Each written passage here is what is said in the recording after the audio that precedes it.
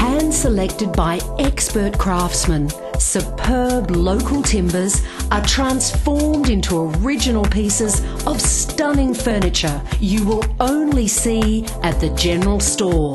Dining, sofas, bedroom suites, occasional furniture and more. Exclusive designs all locally made. Furniture this good could only come from the general store in Osborne Park.